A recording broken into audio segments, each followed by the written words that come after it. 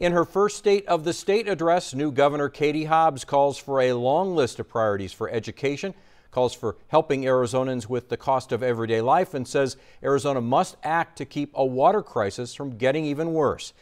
The Arizona governor calling for lawmakers to act now to remove an educational spending cap. She says it's based on a long out of date formula and will lead to catastrophic layoffs. Hobbs adding she will create a task force on how to keep teachers from leaving the profession. One in four teachers leave Arizona schools each year, which is the highest rate in the nation. As a result, more than 2,500 classroom educator positions are vacant. Hobbs wants to spend more on school counselors and mental health. She plans to more than double the money available for college scholarships and set aside $40 million for scholarships for dreamers. Young people who came to the U.S. when their undocumented parents brought them here.